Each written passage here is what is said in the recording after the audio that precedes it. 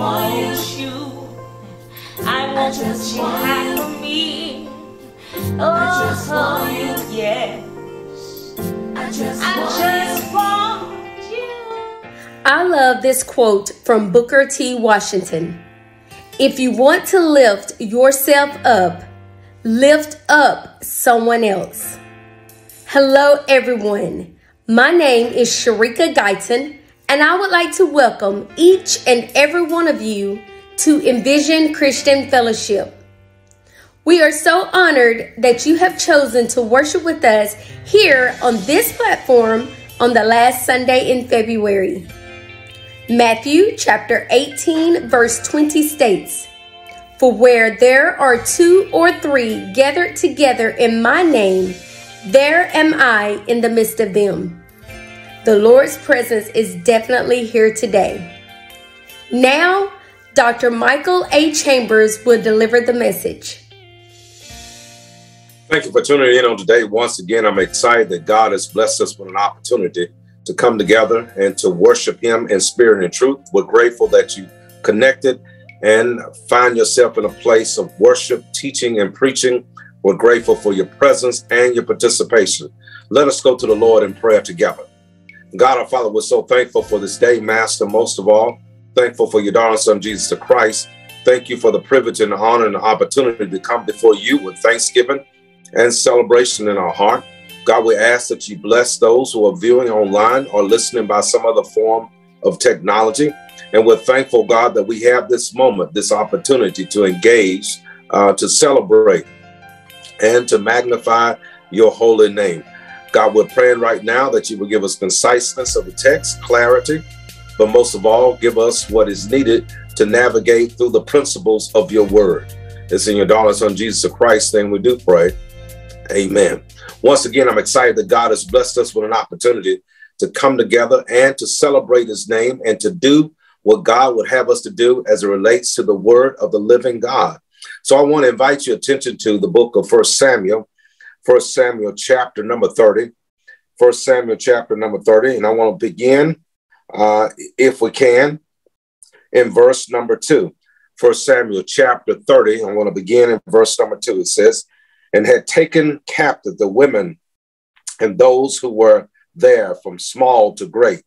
They did not kill anyone, but carried them away and went their way. Verse number three. So David and his men came to the city, and there it was burned with fire, and their wives, their sons, their daughters had been taken captive. Then David and the people who were with him lifted up their voices and wept until they had no more power to weep. Verse number five, and David's two wives, Ahinoam and Jezreelites, and Abigail, the widow of Nabal the Carmelite, had been taken captive. Verse number six. Now David was greatly distressed, for the people spoke of stoning him, because the soul of all the people was grieved, every man for his sons and his daughters. But David strengthened or encouraged himself in the Lord. Brothers sisters, ladies and gentlemen, I want to tag this text during amount of spotlight with this thought, and that is this uh, bouncing back after overwhelming difficulties. Bouncing back after overwhelming difficulties. As we think about it and consider bouncing back after overwhelming difficulties, I'm reminded of the story of a golfer, uh, William Hogan, whose car was hit by a bus because of an because of an accident that left him lying by the roadside, wounded. A great career was ended. Uh, we thought it was doubtful if he would ever walk again, let alone play golf. However, as soon as possible, he got braces and began to swing the golf clubs. It was a painful process. However, he kept on swinging. He bounced back and later came back to win both the United States Open and the British Open championships. For some, this kind of wound is just a scratch, it stings, but it does not sideline you. For some, it's a scar, it reminds you of a long past battle that you've gone through. Maybe internally resolved, maybe not. Your wound could be a scab. It covers a fresh injury that is in the process of healing. No problem as long as no one bumps or picks at it. For others, it may be a sore. It is a tender and raw with sharp shooting pain that constantly reminds you of his presence, regardless of the category. For the wound, we must be determined to stop the nursing the pain, refuse to continue rehearsing the pain, and start reversing the pain and moving forward in our lives.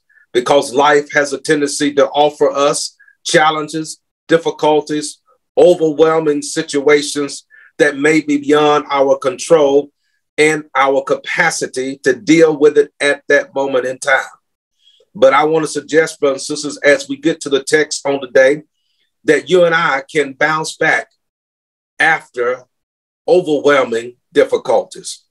As we look at this text on the day, I'm reminded, brothers and sisters, that many of us find ourselves in that place now, possibly dealing with a loss, dealing with the complexities of loss, or perhaps in the loss of a job or a lost opportunity, uh, perhaps in a relationship that has gone completely opposite of what you had expected or anticipated. Or maybe uh, you find yourself in the, uh, the, the, the latter stages of your life and what you thought should have happened and occurred, you find yourself in a very precarious place. But I want to suggest that you can still bounce back after overwhelming difficulties. Because I believe David, who's a man after God's own heart, can teach us a lesson, can share with us a principle, can show us and present to us a pathway forward, a moment in time where you can navigate through the most tumultuous time in your life and still be in a better place, in a be- in a in a good place, uh, a place of resilience, a place of restoration, a place of renewal, but also a place of re engagement in life. So I want to suggest on today, you can bounce back after overwhelming difficulties. As we listen to David, as he goes through this experience on today, I want to encourage you to look at uh, chapter 30. We will notice that David is in conflict with the Amalekites, uh, this raiding band of individuals who were notorious uh, were uh, always gnawing at the heels of the children uh, of Israel. But as we find ourselves in this place, verse number one says that it happened when David and his men came to Ziklag on the third day that the Amalekites had invaded the south, and the Ziglags had attacked Ziklag and burned it with fire, and had taken captive the women of those who were there with him, from small to great. And here we are, brothers and sisters. They were notorious for nagging at the heels of the children of God. They were notorious for trying to raid their camp. Uh, it was nothing unusual to find them constantly and consistently trying to disrupt, devour, and destroy the people of God. But you got to understand, it is David who has just come back uh, from a battle, from a scene in which he was instrumental uh, he and his men who had rose early uh, to depart from the land of Philistine, the Philistines went up to Jezreel. And here we are. We have David at this place and point in his life when he's gone through and experienced moments of victory. He's experienced those moments of achieving a win, if you will. He has also overcome a, a battle prior to chapter 30, but now he finds himself in a very risky place in life. He finds himself in a place where uh, the moment that he did not expect to occur happened. The thing that he thought that would never show up has now reared its head. And here is David. He's paused, positioned in part, trying to unravel and uncover the situation that has happened to him at this moment. As we look at it very closely, the text says in verse number four, notice what it says here, if you will. David says in verse number three, it says, So David and his men came up to the, the city, and there it was burned with, with fire, and their wives, their sons, their daughters had been taken captive. Then David and the people who were with him lifted up their voices and wept until they had no more power to weep or to cry or to allow tears to fall from their eyes. Have you been in that place? Have you been in that moment where tears are endless? Uh, tears have gotten to the point now you have a stained face and you're no longer able to uh, uh, uh, afford yourself the, the privilege and opportunity to allow the tears to flow from your eyes. But I want to suggest to you that if you're going to bounce back after uh, overwhelming difficulties, one is you got to walk through uh, your weariness with worthwhile weeping. Notice here it is. They are weeping uh, because of the fact they were broken over the burned city. They were broken over the brutalized captives. But here is. Notice uh, the contrast between the two. Because as we continue to, to, navigate through this text, we will notice that the tears uh, in this moment in times takes us in two different directions.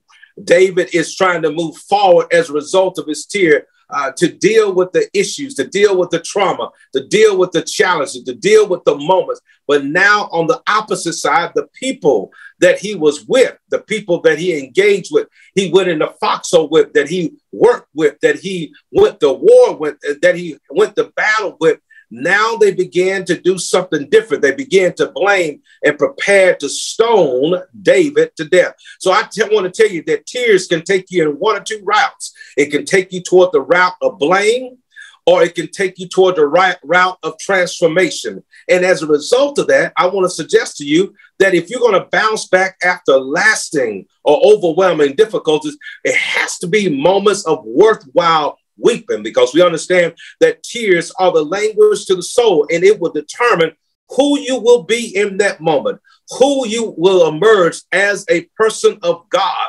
What will be your uh, persona? What will be your demeanor? What will be your personality? How will you react? How will you respond? Will it be a moment of blame or will it be a moment of transformation? And I want to suggest to you, worthwhile weeping is necessary because the text says that they wept until they could not weep anymore. It was David and the men, but they both went in two different directions. David went toward transformation, and the people that were with, with him went toward blame. But here it is, brothers and sisters. Uh, this is why I know that uh, weeping, the worthwhile weeping, is necessary because it was the writer Vance Havner who said, God uses broken things. It takes broken soil to produce a crop broken clouds to give rain, broken grain to give bread, broken bread to give us strength.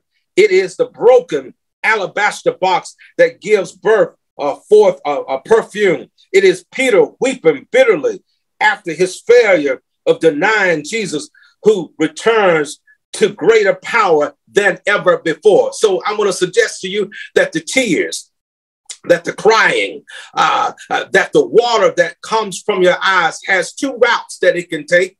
It can either take the route of blame or it can take the route of transformation. But I want to suggest to you that here we are dealing with two schools of thought in the text. But David emerges with worthwhile weeping and he's crying and he's tearful uh, because of the broken, uh, broken uh, city, uh, the broken uh, the broken, broken over the burned city, and he's broken over the brutalized captives. Brothers and sisters, can't you hear David and his men as they come back toward the camp and they see the smoke and the fire and then suddenly they, they look and see throughout the length and breadth of that particular community in that area, everything that they had worked for, everything that they had went to battle for, everything that was in their mind when they went to battle with the hopes of returning to a warm place, to a warm spot, to, to relationships, to people, to folks in the community. But yet they find themselves in a very precarious place and they began to gauge in crying tearfulness and weeping from the eyes. But one set of tears takes the route of blame, but the other set of tears takes the route of transformation. And it's David who is engaged in worthwhile weeping. Brothers and sisters, ladies and gentlemen, here it is. Uh, not only that, must one walk through the weariness with worthwhile weeping, but secondly, one must emerge from your extremities with effective encouragement. Look what the text says. Look at verse number six, if you will. The text says it's here very clearly. Let me back it up here. And you will notice what happens. It says, David was greatly distressed, for the people spoke of stoning him because the soul of all the people was grieved. every man for his sons and his daughters. But notice what it says the divine conjunction drops down in the text. It says, But David strengthened himself, David encouraged himself in the Lord. Brothers and sisters, hear this. David could have been overwhelmed by the moment. David could have been uh, outdone by the, the time that he was experienced, but David did not turn turn inwardly, but he turned upwardly. He did not allow his tears to go toward blame, but he allows his tears to go toward transformation. So that's what I want to stop by today to tell you that here he is. He's engaged in effective encouragement.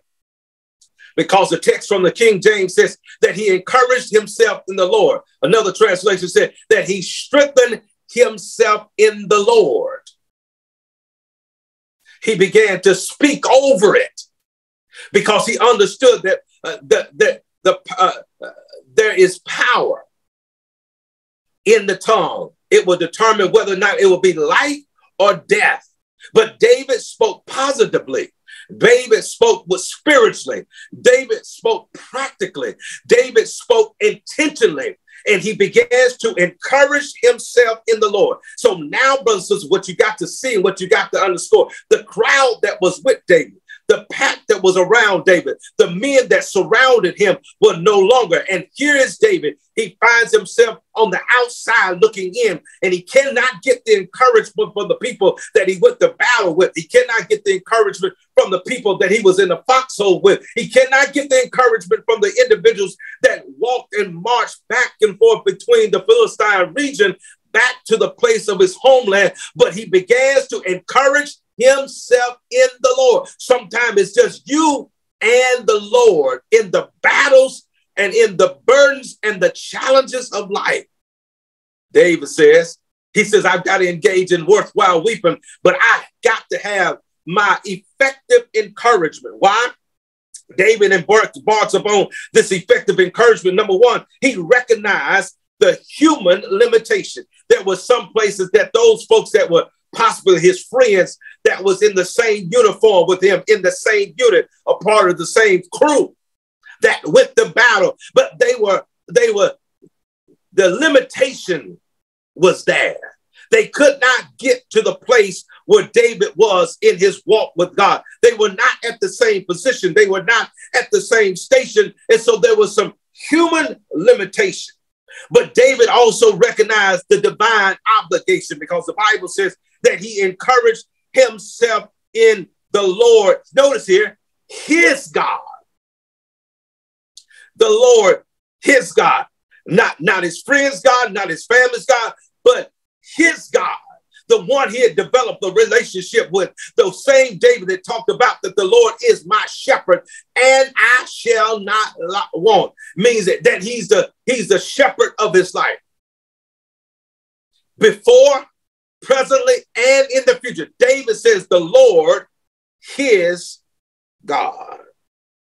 So David recognized the human limitation, but also David recognized his divine obligation was to, re, uh, to engage in encouraging himself. It was one writer that talked about a well known sports analyst who grew up uh, uh, desiring and loving the sport of boxing but he was fascinated by the sport, even though he was never good at it. He said, in boxing, you're on your own. You're in that square circle by yourself. You're in that ring by yourself as the blood and the and the sweat is hitting uh, uh, uh, the canvas. You're in that ring by yourself. He says there's no place to hide. He says at the end of the, the match, only one boxer has his hand raised up that's it. He has to, he has no one to credit, no one to blame except himself. But this writer says, he says, who boxed in high school? He says his coach, greatest goal was to teach his boxers that they absolutely positively, without question, had to have a get up inside themselves.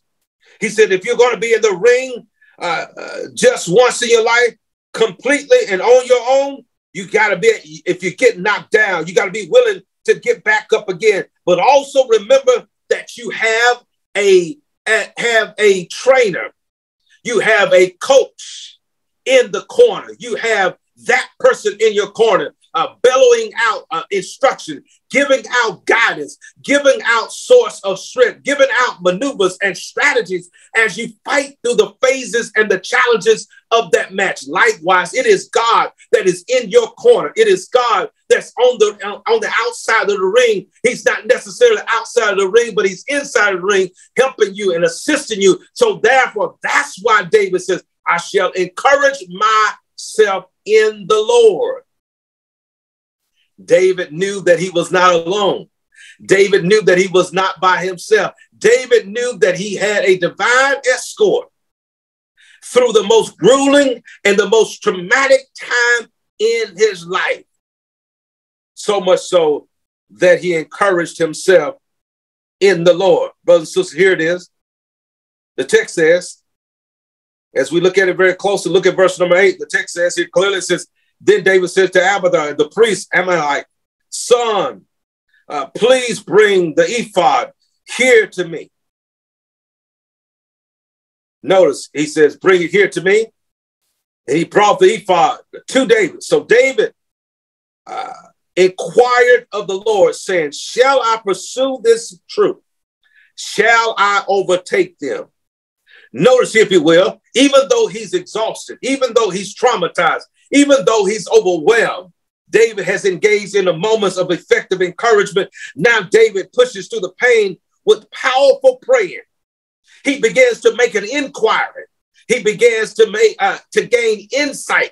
He wants the uh, he wants the intel as to what he needs to do at this moment time in his life. He does not go back to the men. He does not go back to the crowd, but it is David trying to make an inquiry into God as to what his will was, as to what his purpose, what was his direction, what was his guidance.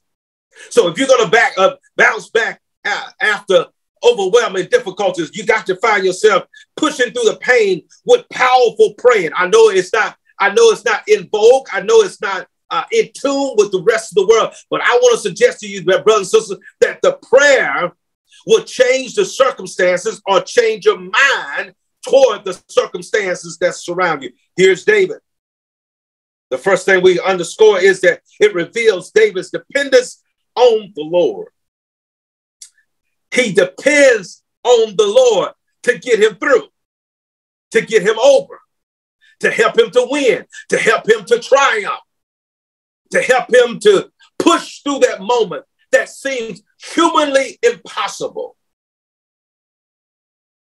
Why do you think the proverb writer said it best? He said, Trust in the Lord with all thine heart and lean not on thine own understanding, but in all thy ways acknowledge him. Here it is. He shall direct your path. So now David understands. It reveals David's dependence on the Lord, but it also reveals David's direction from the Lord. He wants direction from God because God is Alpha and Omega, beginning and the end. God is that place, that space, who can see the things around you, see the things before you.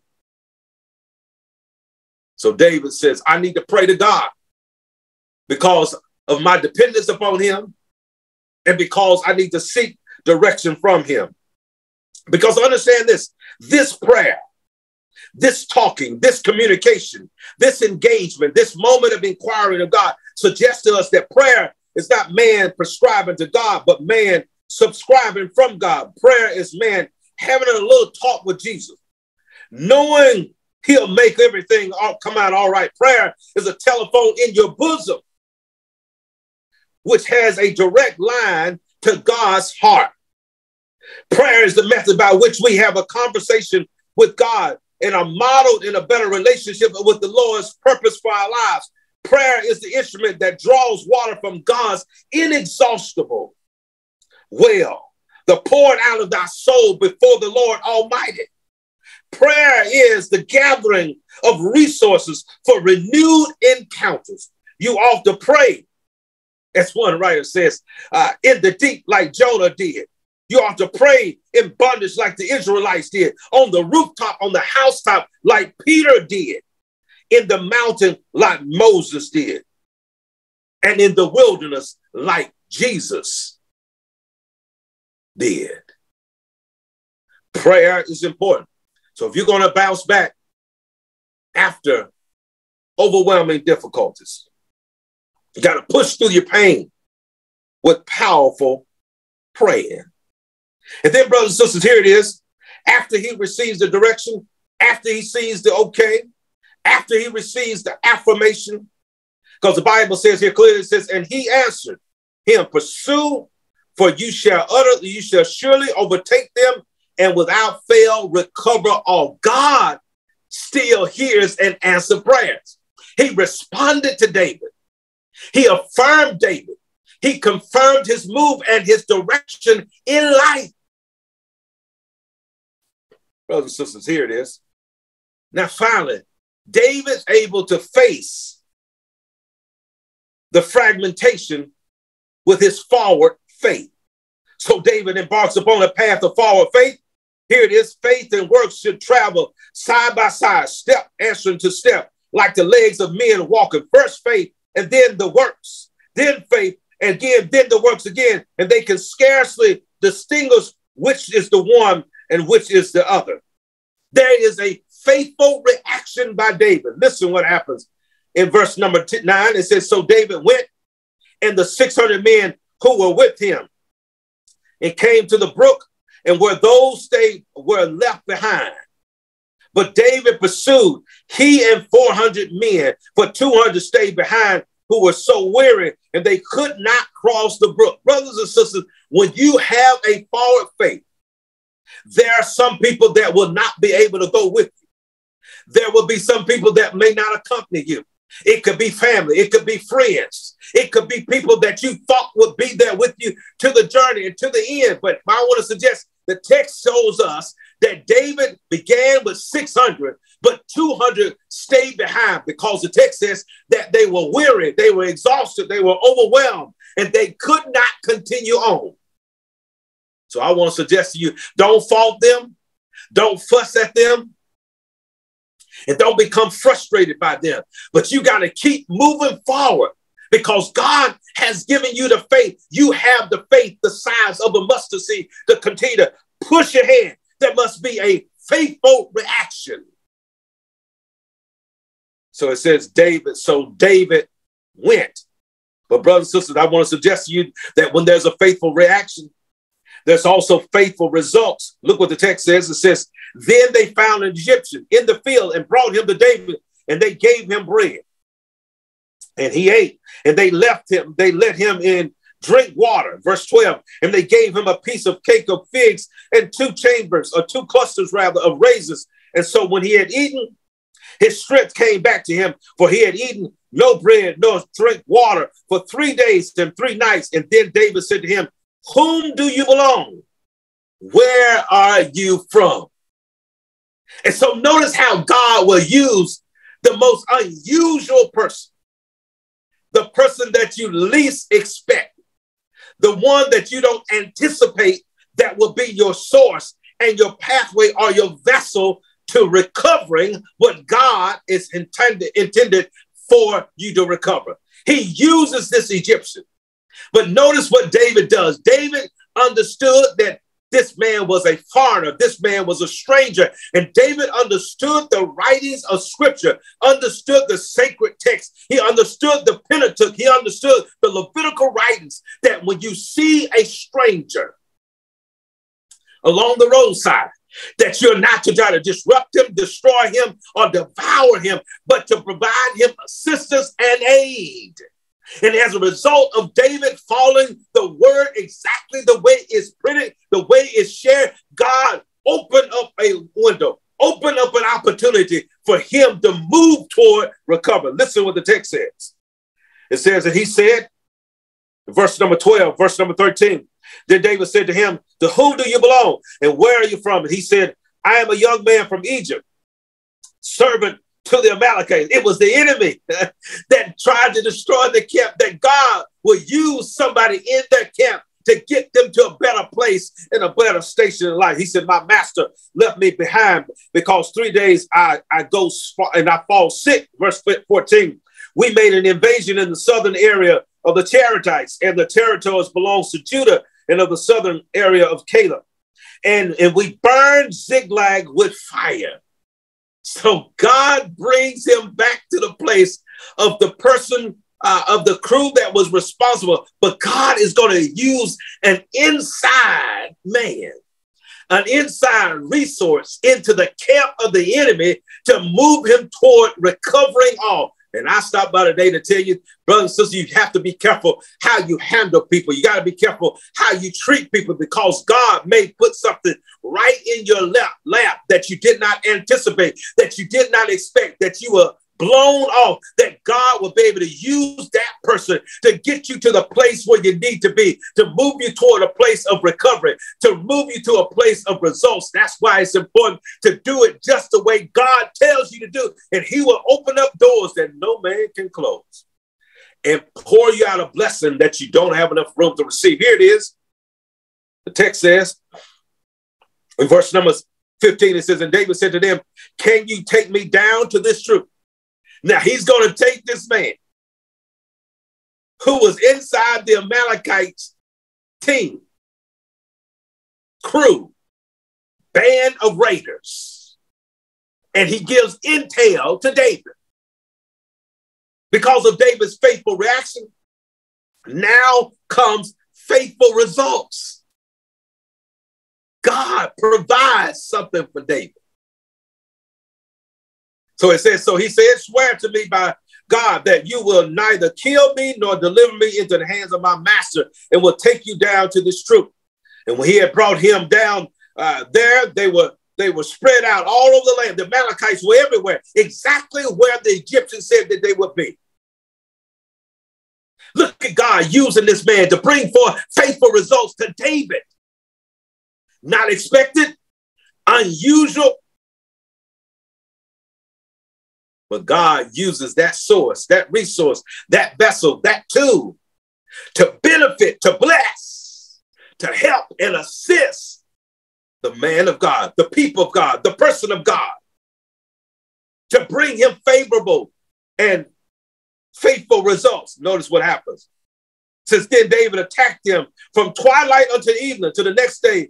Not a man of them escaped except 400 men who had rolled off on camels and fled. But here it is. This is where I want us to get. In verse number 18, it says, So David recovered all that the Amalekites had carried away, and David rescued his two wives. so now, as a result of David moving forward with forward faith, he gets a faithful reaction. He does exactly what God tells him to do. He has faithful results. Now he has a faithful recovery. The text says that David recovers all. And that's why I want to tell you, brothers and sisters, faith is the substance of things hoped for and the evidence of things yet not seen. That God is a rewarder of those who diligently seek him. God says, if you'll be good to me, I'll be good to you. He says, I will bring you faithful results. If you move forward in faith, he said, I will bring you a faithful recovery.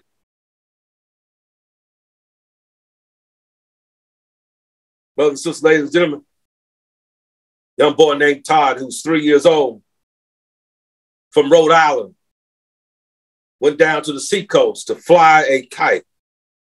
Never having flown a kite before, Todd had obvious doubts. His father assured him that all was well and the kite would go up as it planned. And Todd unraveled the string, watched the kite go up, and he was heard to say, I knew it would fly, Daddy. You said it would. And that's what God has said to us. Whatever I say is settled. Whatever I assure you of, it will happen. If you will just only believe, just only trust God, you can bounce back after overwhelming difficulties. If you walk through your weariness with worthwhile weeping, emerge above your extremities with effective encouragement, push through your pain with powerful praying, and face your fragmentation with a forward faith. You can bounce back after, over, after overwhelming difficulties. If you only listen to the principles and the plans of David, David says in verse 18 that he recovered all, picks it back up again in verse 19. It says, and nothing of theirs was lacking, either small or great, sons or daughters, spoil or anything which they had taken from them. David recovered all. He mentions it twice in this context. You can bounce back after overwhelming difficulties. May God bless you. May God forever keep you, is my prayer, is my thought. Whatever you're going through, whatever you're experiencing, whatever has you in a dark room, whatever has caused the stain to be on your cheeks, whatever is causing anxiety in your soul. Or whatever is causing you to be in a place of emotional unrest, you can bounce back after overwhelming difficulties. May God bless you. May God forever keep you as our prayer.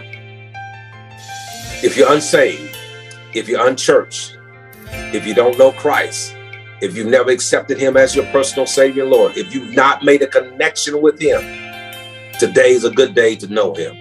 On the screen is my email address. We do want to invite you to uh, share with us your relationship, where you're at in your life, and what's happening. We would love to be a part of that experience with you. Or perhaps you're one of those individuals that has accepted Christ somewhat time in past in your life, but you have become despondent um, not willing to reconnect because of some factors and issues that may have caught you off guard and uh, caught you by surprise and uh, dashed your hopes and your dreams. But I want to suggest today that you can reconnect and re engage with God. Let us go to the Lord in prayer together. God, our Father, we're so thankful for this day. Master, most of all, I'm thankful for your darling son, Jesus Christ. Thank you so much for allowing us to uh, to worship you in spirit and truth. We ask that you bless us, give us strength, give us encouragement, and give us wisdom as we navigate through this moment. We're praying for that man or woman that needs to confess, admit, believe that you are the, the source of strength, the source of their life. We're praying, oh God, that you will renew their faith, give them energy, give them wherewithal to get through whatever they're going through at this moment in time. Cover them, love them, encourage them, support them and they believe God that that you are there to give them a gift. And they understand that it's not something that they can work for but it's by grace that they can be saved. If they will confess with their mouth and believe in their heart thou shalt be saved. God we're praying for those individuals right now as they make that commitment as they make that choice. I also pray for the other individual god that wants renewal or restoration or rededication praying, oh God, that you will speak afresh in their lives and help them understand that they are not by themselves, but that you can reconnect them and restore the joy back into their heart. And we're praying for all these blessings, these interactions, and these encounters. It's in your darling son, Jesus Christ, saying we do pray. Amen. And thank God. Once again, I'm excited that God has blessed us with this opportunity to come together to share the dialogue, to discuss uh, the directives of God as to what He has to offer, what He wants to bring forth to you in this season in your life. May God forever keep you and bless you, is our prayer. We pray that you be strengthened and encouraged as always. Walk with the King and be blessed. Thank you so much, Dr. Chambers, for that message. You can join us here on this platform every Sunday at 9 o'clock and 11 o'clock a.m and at 7 o'clock p.m. Eastern Standard Time. So many people have asked the question what does partnering with Envision Christian Fellowship mean? It consists of daily prayers, weekly teaching and preaching, monthly encouragement from the ministry team. You gain an authentic relationship with the ministry team. And if you desire additional pastoral services, they are available upon request. Other ways to partner you can partner through praying with a team of committed ambassadors of Christ affiliated with Envision Christian Fellowship monthly. You can partner through serving with a team of committed ambassadors of Christ affiliated with Envision Christian Fellowship quarterly. You can partner through connecting with local, regional, and international nonprofits. And you can partner through giving consistently to Envision Christian Fellowship, either weekly, monthly, quarterly, or annually. And you can contribute through Cash App or PayPal. And you guys, all of that information is listed on the screen. Again, thank you all so much for joining us today for worship. Next time, we hope that you invite someone to worship with you. We hope that you all have a blessed day and stay safe. Bye for now.